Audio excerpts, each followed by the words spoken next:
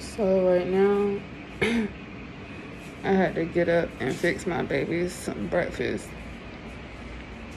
Um, my whole body is sore right now. My kids woke up on 10, so having to be a mom and go through this quarantine with them has, is challenging. This is only day two. I got my results back yesterday, but I've been having um, symptoms since Tuesday. So um, it won't be lifted until the 4th that we um, I'm no longer contagious. I've been wearing my mask around the house because I don't want to give this to my kids, obviously. And I'm hoping that they don't have it already. And I'm just really out of breath. My whole body is just really sore. Yesterday I felt better, but today I just woke up and I feel back to like not feeling good. So um, I also can't smell and taste.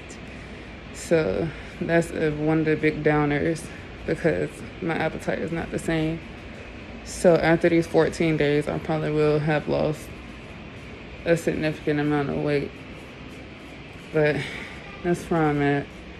Being a mom while trying to, uh, while having COVID, basically, is not. y'all see my hair, y'all see everything. Like, it's just not fun. I don't know why my body is sore. I don't know why that is a symptom of COVID, but it is. And um, when I start to feel better, I'll be able to clean up and get myself dressed and stuff like that and make a video about it more in depth. But y'all just pray for your girl. I'm out of breath now. I don't talk too much. but yeah, I'll catch y'all on the next update. Hey, what's up, you guys? So I am back finally. Um, I had COVID-19 and I am still like suffering the effects of COVID-19. Um, I'm going into my third week, second and a half, third week. But um, I'm no longer contagious or anything like that. I still have no taste and no smell. I can taste, but it's just like if it's sweet, if it's salty, if it's bitter. That's what I can taste. I can't actually taste the, you know, how food used to taste. And I don't know how long it's to take. I don't know how long, like, this is to last. I still, like, break out in, like, uh, a sweat. Doing tasks that aren't that, you know, that much. I still break out in sweat, like, all over. Like, I just ran 10 laps around the, uh, the block. So, let me tell you about my experience before I get into all the other stuff. I was eating and I had no taste and I could not smell. So I would just have like a funny smell in my nose. I could smell this funny smell in my nose, but I, I just thought it was like a nasal uh, sinus infection. So I went in to get my allergy shots, had my mask on, and then I asked my the nurse that gives me my allergy shots every um, week because I get allergy shots. I, I'm allergic to uh, a lot of environmental things like dust mites and stuff I have no control over. So I have to go in every week and get two shots on my arms. And it's connected to a primary um, care doctor and an urgent care. And then the hospital is like right across the street from there. So I asked the nurse, I said, um, do you guys have you know a nurse or a doctor on hand she told me that the, you know where the offices were. And so i just said F it. I'm going to the er because something is not right with me. I didn't tell her that because i didn't want to freak her out or whatever but i just went to the er i told them um, that it could be a possible sinus infection but i can't taste or smell. And so they got me back there. They asked me all the questions. And then two of the doctors that were there came in. And that's when I started noticing like this is serious. This is this this might be something else. she, what she basically told me was it's either COVID-19 or it's either a sinus infection. But usually sinus infections don't have like um the no taste thing going on with it. I mean, if you have a cold or something, you're not gonna be able to taste that good, but you can't taste anything, like nothing. I said, I said, no, I can't taste anything. and so she was like, you want to get tested because you don't want to, you know, um, unknowingly infect other people. And I said, you're right, you're right. Even though I didn't want to get tested. I said, you're right. I sucked it up and I got tested. Let me tell you, she walked in with a cotton swab that was this big. I said, oh, oh my God. I said, wait, I'm scared, I'm scared. And she started laughing. I was like, I'm serious. I do not. No, no ma'am. No, ma'am. You're not sticking it up my nose. And, and you got to do both of them? Girl, I almost had a heart attack. If y'all hear anything, it's my washing machine in the back. And I look like a, a bum, but you know, I, I'm still suffering the side effects of COVID. So just just bear with me. I'm about to get back on my video tip. This ring light right here is real hot. Uh, I'm, I'm about to start sweating. Like, I feel like it's time to get back to work, but my body is like, girl, lay down, go to sleep. But anyway, she came in my room with that big ass, with that big ass Q-tip, this long. Like, girl, I know you ain't about to stick that up all the way up my nose and, and go back with it or something like that. And it wasn't like that at all. Usually people say that it sticks and they stick it up and then you can feel it go back. That's kind of true, but it was like over so quick. It was over so quick that I didn't, you know, it felt like, felt like a couple minutes though, but it's just the fear of seeing that big Q-tip about to go inside, up, up, up inside of there where stuff is not supposed to be at. Like, that's what really just psyched me out. And when I tell you, when she stuck it up my first note, uh, I was doing good. I was like, because I breathed in a little bit and whatever and closed my eyes. And then she had to uh, go back out and stick it in the other. I said, you got to stick it in the other one. So she said, yes. So she stuck it up in there. And that's when I grabbed her arm. I grabbed this lady arm like, like a bear, like, like, I just had a tight grip. And I told her I apologized. when she left the room, I was like, I'm sorry for grabbing your arm. She was like, no, no, it's okay. when I say I had a tight grip, the grip was tight. so, um, yeah. I was just so glad that was over. And shout out to them for dealing with all these patients with COVID and stuff. And, you know, being up in there because I would be paranoid. You feel me? Like, girl, put your mask on. What you doing up in here? Like, I, I would have gloves on and everything. She was real cool, real nice. And, um, she told me not to go back to work because I had to go back to work that day. And I was like, should I go back to work? And she was like, uh, no. you can't taste, you can't smell, and you just had a COVID test. Just, just go home. So I test my boss. I told her I just had the test or whatever. And uh, it'll be back the next day. So, I, you know what I did? I went home and I looked on YouTube. Like, that's where I messed up. because I, I got to the people that was in the COVID ICU. And I was just like, oh my God. Like, and people always say it's going to be get worse before it gets better. And I'm like, this is already like dreadful. Like, it's to get worse than this. Like, I was just paranoid. I was just like, oh my God, what if I go to the hospital? I'm in the hospital. I got my kids by myself. They got a quarantine with me because they've been around me. Like, they what how am I gonna take care of them and take care of me and take like watch them and what they're doing and while I'm sick and in bed and just dying. like my mom was just all over the place. And it was just not a good feeling at all. Like I was crying every day. I was just like, what do I do? Like I have just me. And I'm used to it just being me, like taking care of my kids or whatever. Like nine times out of ten, it's just me doing everything. Taking care of a three bedroom household with my kids and me and laundry and cleaning and working and doing all this on a daily. That's just me. I have to do it. Nobody is here. No man is here. No nobody is here to help me with nothing. But now that I'm going through COVID, it, it really, really hit me like, dang, I'm by myself, by myself. Like, really by myself. Like, so,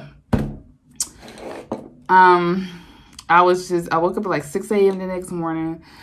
And yeah, of course, I was texting my mom and texting everybody online. Like, what does detected mean? Anyways, I got too hot, y'all. But I was just in denial. Like, what does detected mean? I got the hospital. I was like, because it was kind of hard to read. I'm gonna put it the picture up here so y'all can see. Um, she said it just means not detected or detected. So whatever is up there is up there.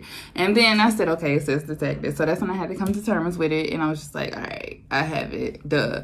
I'm just in denial. And then the CDC contacted me and was like, uh, good morning. Your COVID test has come back positive. and then they just tell me everything to do. Stay in the house for 10 days. Anybody that has been around you, they need to quarantine with you.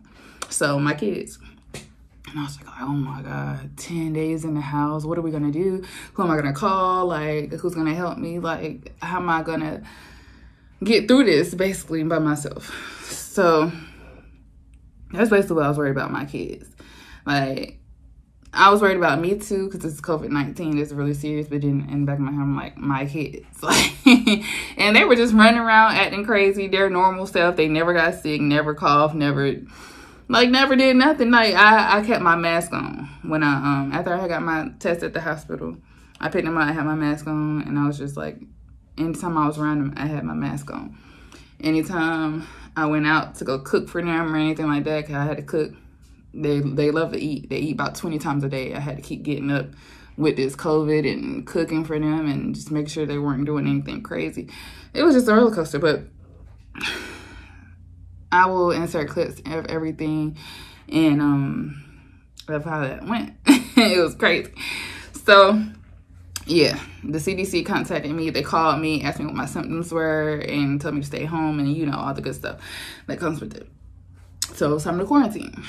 And I, of course, contacted my boss, and she was like, "Oh no, da da da," and so she told me let her know any updates and all that good stuff. So my ten days started, and let me tell you, I thought I was gonna be chilling in the bed at home, you know, getting better or whatever, and it was like complete opposite. So my symptoms were obviously no taste, no smell. That was like my first one, and it was just like this this crazy smell in my nose. Like that's why I thought it was like a sinus infection, but it was just like a weird smell in my nose. And it was very strong. and then um then the no taste. And that was horrible because my appetite was diminishing and I love to eat. Like I'm trying to lose a couple pounds now because I love to eat. And it was just so horrible. Like wanting to eat and then not being able to taste anything. Like I went to Zaxby's, got a salad. It was about to be bomb. I knew it was bomb while I was eating it, but I was like, I can't taste anything. And I thought about doing the uh, TikTok challenges where you eat like crazy things and stuff like that, but I didn't have anybody go to the grocery store for me um, and get those things. But my mom came in clutch. Of course, she freaked out and she was like, oh my gosh, she was calling me like every day. And yeah, bring the bags in. We'll bring these in here. Um, what's that, bacon? She got y'all some bacon. Yeah. And, the, and I see have dog, hot dog. Oh, she did. Yeah. So. Get the other juice. Uh, My can open it for five. I mean, when you feel like you can't catch your breath,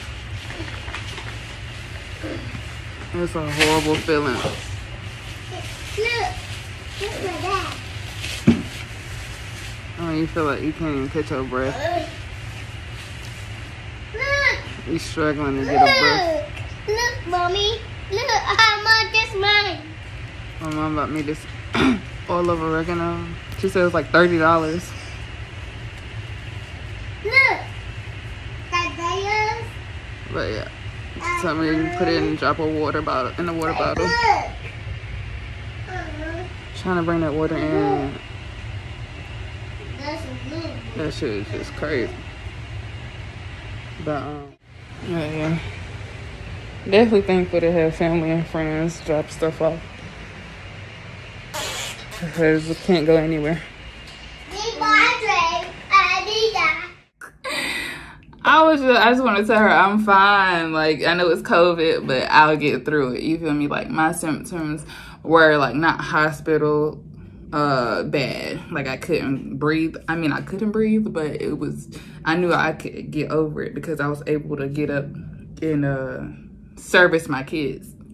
So i was like okay i'm fine but everybody was around me like freaking out. Um so let me answer her calls because usually like i'm an antisocial person. I don't like to talk to people. I, I don't like to be around people for too long but um, yeah, I had to answer her calls because you know my mom, she, she that's my mom. So she uh came all the way from my hometown, which is like 45 minutes away, just to go to the store. And she grabbed me a whole bunch of food for the kids because I'm like, I can't taste anything. I can't eat anything. Just make sure the kids are straight. So she did that. She got them like 10 packs of bacon because every morning, this is our routine. We wake up, eat bacon, and uh some fruit. I would cook bacon and some fruit for them. And then they would get hungry, get a little snack, and then they would get the midday meal. And then I would have to give them a little snack, and then I would have to get up at nighttime and cook them dinner. So I said just get hamburgers, hot dogs, bacon, and and some fruit, a lot of fruit. And so she did that, and she also got me uh, disinfectant she got me this. She was like, spray the house down. This is almost empty because I'm still spraying the house down because I'm still paranoid. um, but she brought me disinfectant. She brought me tissue. She brought me uh, this uh, oil of oregano. I don't know if you guys can see it. It's not going to focus. There it is. Oil of oregano. The top came off. But um, yeah, she told me this thing right here was like $30 for this little bottle. Uh, it's like a little dropper. Um, I took a water bottle and I just uh, dropped a couple drops in a water bottle and I drank that every day. And let me tell you, this is really what helped me. This is really what helped me get back to life. um, I had started smelling a little bit because it's got like a little pizza, pizza smelling. I don't know. It smells like look, like a little like pizza and um, that's what really got me through. And also i took i had two water bottles every day. And i filled one of them up that with the oil of oregano and the other one up with the uh, liquid chlorophyll. I had this at home already. And this turns green. My finger's probably green. Yeah. Green. It turns green. Uh, when it hits the water i drank that whole water. I'm taking my water bottle I haven't ate anything today. I don't have an appetite at all. I can't taste anything. So I got this oil of oregano. Water bottle. My mom said just a free jar, so I'm gonna put the whole thing. I'll put the whole thing in it. I haven't ate anything though, so I wonder if I'm messing up. But I'm gonna drink this whole bottle because I can't taste anything. And I have another bottle and I have chlorophyll. So,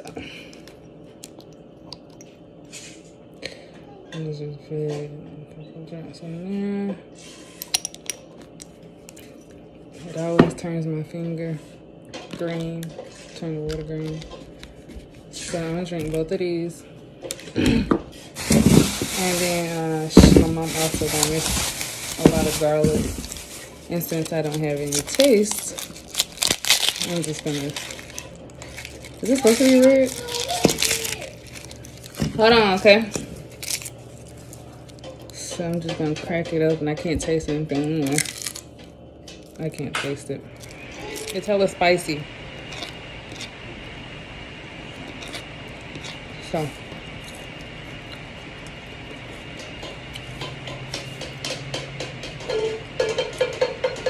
Is hot. You could taste the hotness. After that, I started feeling better. It was like day seven, seven or eight. And I was still like very tired. Like I couldn't get up to see what my kids were doing. Like, okay, let's see what Cassie did. So.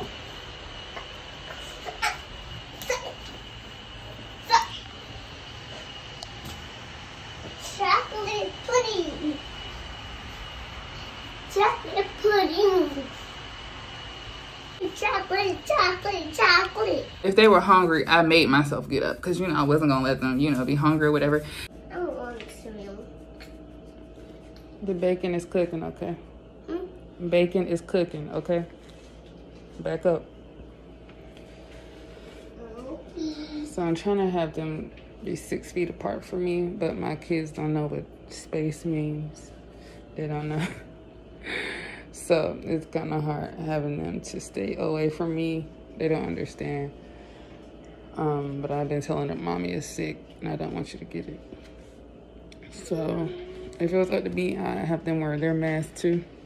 But you know, kids don't, they don't want to do that. so I'm cooking some bacon now. And um, I had set my timer because usually I can smell when the bacon is like cooking and it's about to be done or when it's burning, but I can't smell anything. So I'm gonna stay in the kitchen just to make sure that I don't cause a house fire because I wouldn't be able to smell anything burning or anything like that anyways. So that's just a little update.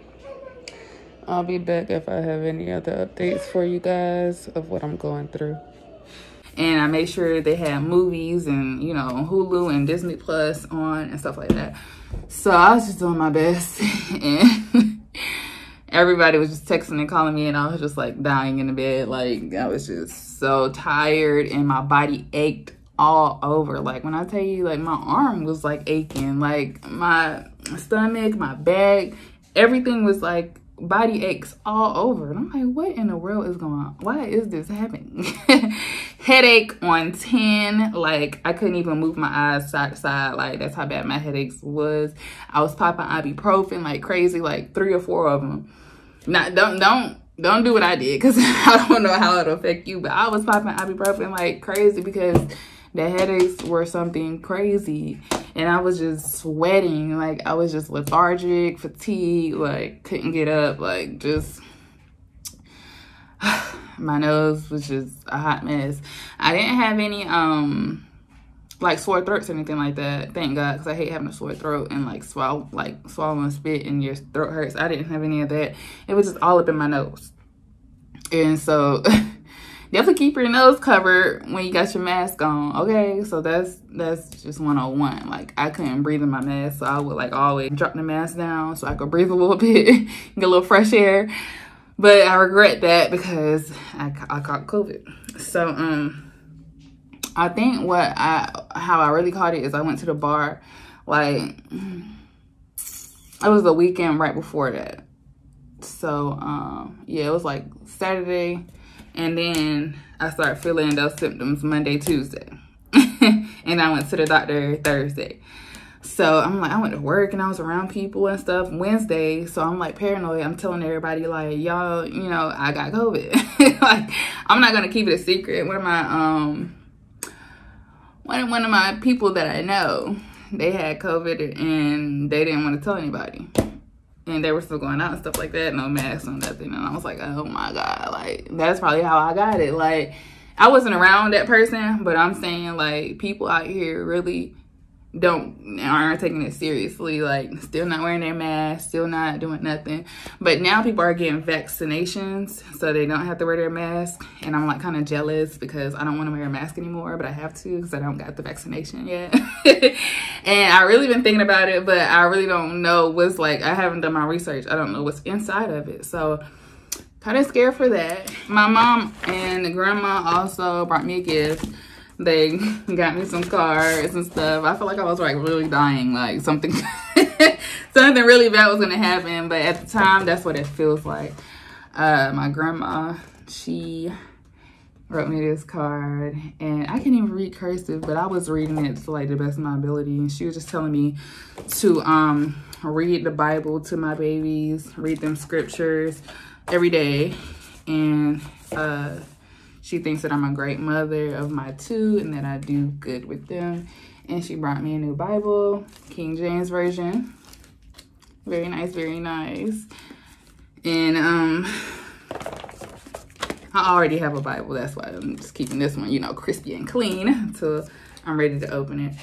But um, yes, my grandma gave me this, and then my mom, she um, I think she gave me this card see. You have been so kind. And then she wrote me that. My grandma wrote a whole book. oh yeah, this from my mom. words of encouragement. If it wasn't for her, my kids probably wouldn't have had no food. I would have had to go to the grocery store. in there dying, and I'm not even supposed to be in there. Like, if it wasn't for her, I wouldn't have had a lot of things. I wouldn't have been able to quarantine for the full 10 days. So, very thankful for her and her concern. And my father hit me up and checking on me. Um, and just the family, you know, really checking on me and hit me up and make sure I was good. But COVID is nothing to play with. Make sure y'all wear your mask.